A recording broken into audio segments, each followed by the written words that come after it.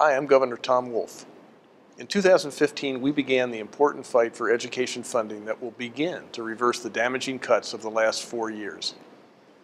Those cuts left our schools struggling, forcing educator layoffs, program cuts, and ballooning class sizes. I saw the negative impacts of this firsthand as I traveled the state during our Schools That Teach tour. But I was also inspired by the spirit of those educators and students who continued to do their best even without the valuable resources they needed. It shouldn't have to be this way, which is why we've worked so hard to change the status quo and make education the main focus, as it should have been all along. The funding increase we are fighting for will benefit each of the 500 school districts in the Commonwealth. Not only that, but the investment will reach the classroom directly. We know this because we asked each superintendent to submit plans for how they plan to allocate the money. Their responses were overwhelming.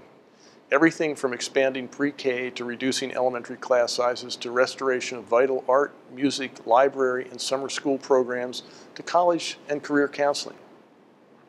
These are all valuable ways to ensure our children are getting the high quality education they deserve regardless of their zip code. Our investment will open up thousands of new slots for families to enroll their three to four year olds in quality early childhood programs like Pre-K Counts and Head Start. And it will provide for an increase to all state and state-related universities, as well as to Pennsylvania's 14 community colleges. But Republicans in the legislature continue to protect the status quo and refuse to support a compromise budget that will invest in our schools and begin to restore the cuts made to those schools.